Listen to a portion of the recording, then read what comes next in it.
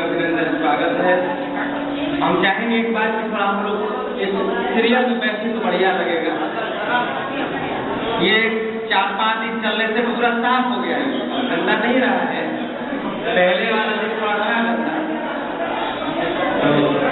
तो बैठ बैठिए आप लोग भी आगे से तीन तो पीछे तीन बना